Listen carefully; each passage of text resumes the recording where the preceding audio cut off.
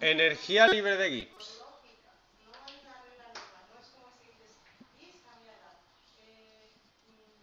Energía libre de Gibbs. ¿No sabes lo que es esto?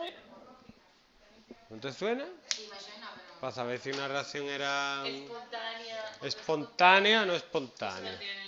Se calcula la energía libre de Gibbs. No confundí con los hermanos Gibbs, que eran los de Bee Gees, los de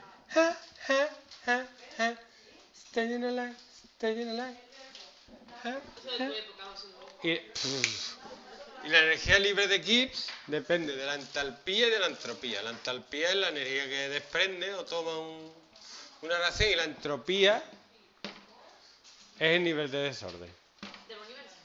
De. De, algo que siempre tiende a, a crecer. La entropía siempre tiende a crecer. Porque se, normalmente pasa siempre de líquido. Tú a dejas, tú, claro, tú dejas tu habitación un mes a ver lo que pasa. Se desordena sola, se desordena sola. Oh. Entonces, dependiendo de cómo sea la entropía y la entalpía, pues puede ser espontánea o no espontánea. Si esto es menor que cero, es espontáneo. Y si es menor que cero, pues no. Y si es igual a cero, pues se queda ahí, no se sabe si da polución. No. No he puesto lo mismo. Entonces, hay una tablita que te dice, vamos a ver, muchacho.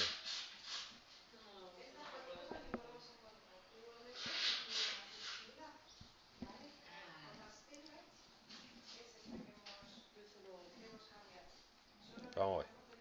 Por mucho que dice que diga que lo odia, eso no te va a ayudar. Sí, pero que no me queda.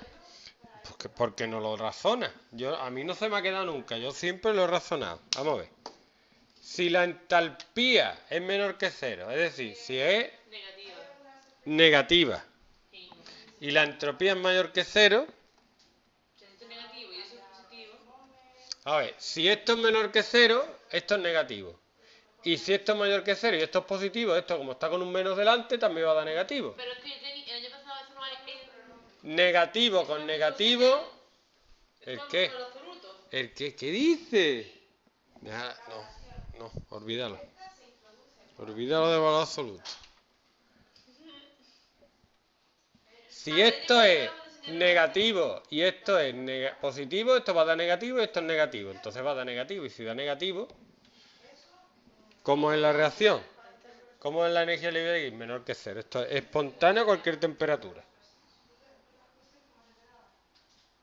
Si la, si la entalpía positiva y la entropía es negativa, te va a salir positiva. Vamos a ver. A cualquier temperatura, Que la entalpía es menor que cero, ¿qué significa? Que es negativo. Pero que es negativo, que necesita energía, Ay, no, que de- que desprende energía. no, que no, no, no sé. Si el desorden aumenta y desprende energía, se va a producir. Una explosión se va a producir. Porque desprende un montón de energía y el nivel de desorden aumenta. Esa, y la que viene ¿Vale? Ahora, si la entalpía es mayor que cero, es decir, si necesita energía la entropía, el desorden disminuye, y el desorden disminuye, es positivo. Eso nunca va a ser espontáneo, esto es muy fácil de ver. Claro, esa dosis. Si hace falta que tú trabajes ¿no?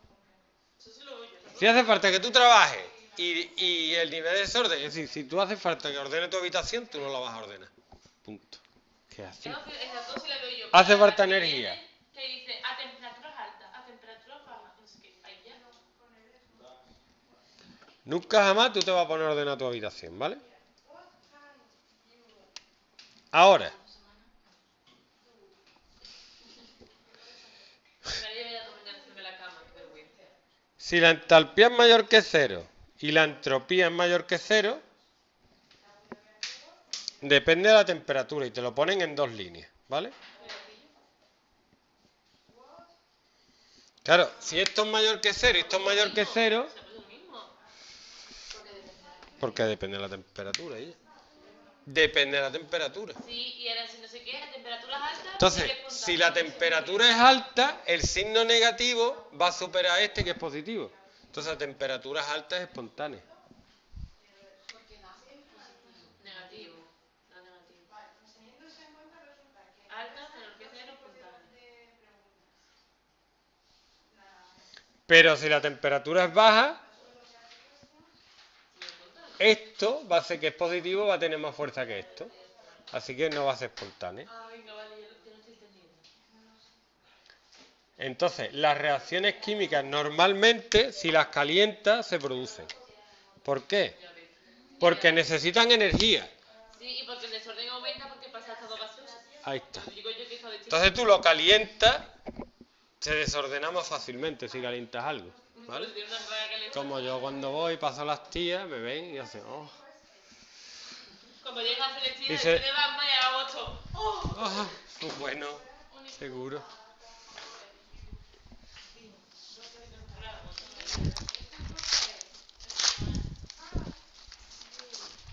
¿Qué? Aquí, ¿qué tengo que hacer? ¿Qué tengo que poner? ¿Que es 9 de este? No, un 9 y la desviación típica, ya está. Nada más. Bueno, pues vamos a ver más que ordenado. Aquí tiene para comer.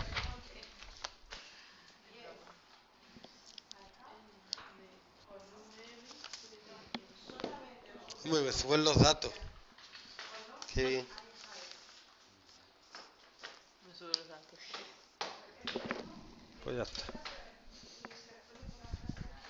Y el, esto es lo normal, ¿vale? Las reacciones químicas aumentan la temperatura, bla, bla. Pero,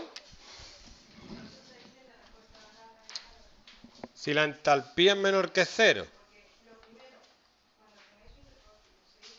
y la entropía es menor que, ce- menor que cero, esto no pasa. Estas son reacciones que hay muy poquitas, no, no pasa.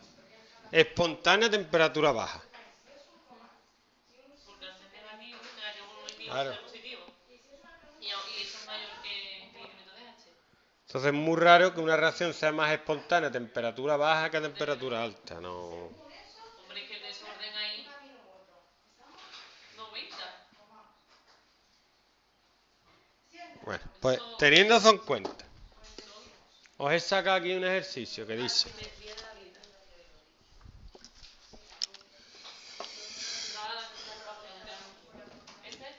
dada la siguiente ecuaciones termoquímicas, dos aguas, dos aguas oxigenadas, dan dos aguas más oxígeno. Dice que la entalpía es menos 196.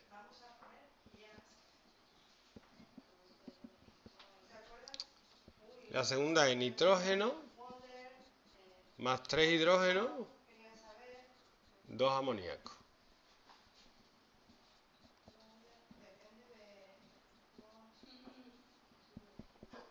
¿Vale? Dice el signo que probablemente tendrá la variación de entropía en cada caso.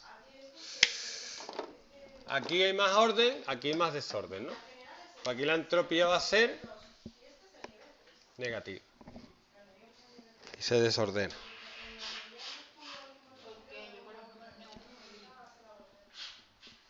Vamos a ver, aquí se ordena o se desordena. Se desordena, Pues si se desordena, la entropía es mayor que cero. Uno pone lo de líquido y gas, pues, no sabe más bien. Gas.